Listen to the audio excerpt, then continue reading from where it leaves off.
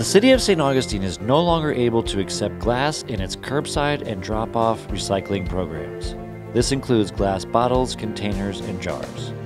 Glass makes up an average 35% of our single stream recyclables and is the heaviest commodity, making it the most expensive to haul and dispose of.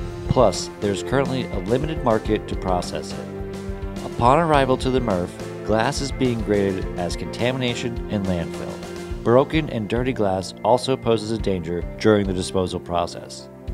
The city is requesting all customers, residential, commercial, and neighboring communities to not place glass in the recycling bin, but instead find a way to reduce consumption, reuse it, or place it in the trash can.